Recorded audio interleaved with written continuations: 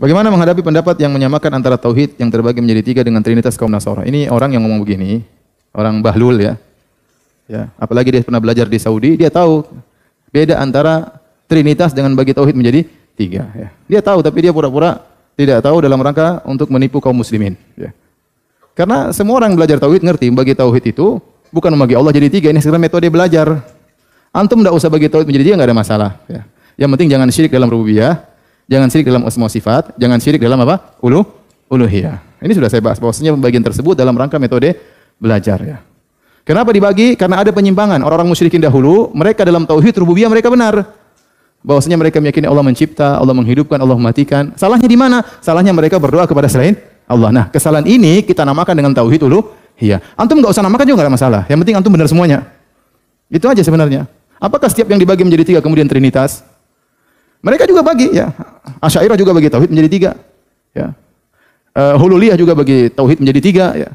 Jadi saya heran ada orang seperti begini ya. Ini jelas bahwasanya dia tahu bahwasanya maksud apalagi orang sudah belajar di Saudi tahu orang ulama Saudi waktu mengatakan tauhid menjadi tiga bukan maksudnya trinitas. Ya. Tapi ada yang bagi jadi empat, kemudian jadi apa? Fornitas.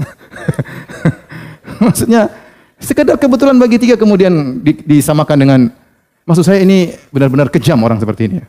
Benar-benar ingin menipu umat, ingin men... kalau kita mau bantah-bantah yang jujur saja, jangan nggak jujur. Ya. Kita tahu ini bukan begitu maksudnya, terus kenapa kita langsung bilang ini trinitas? Benar-benar tidak jujur, jadi orang keji seperti ini. Ya. Saya senang kalau misalnya ada orang menyimpang atau menyelisih kita bantah secara ilmiah nggak ada masalah. Tapi bantah dengan kebohongan, ini orang keji seperti ini. Saya tidak suka.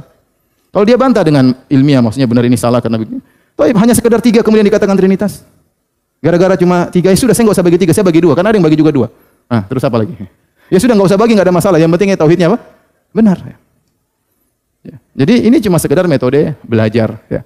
Karena ada orang menyimpang dalam tauhid asma wa sifat. Ya. Orang Asy'ariyah juga bagi tauhid menjadi tiga. Mentauhidkan Allah dalam zat, mentauhidkan Allah dalam af'al, mentauhidkan Allah dalam sifat. Tiga juga. Ah. Asy'ariyah juga trinitas. Nah. Semua yang bagi tiga trinitas. Jadi subhanallah, saya kadang-kadang kenapa orang seperti begini gitu. Jujur kalau bantah jujur. Tidak ada masalah, kita salah mungkin kita perbaiki. Tapi kalau bantah dengan kebohongan bahwasanya trin, bagi tahu jadi tiga trinitas, wah ini keji banget ini. Keji, nggak benar orang seperti ini.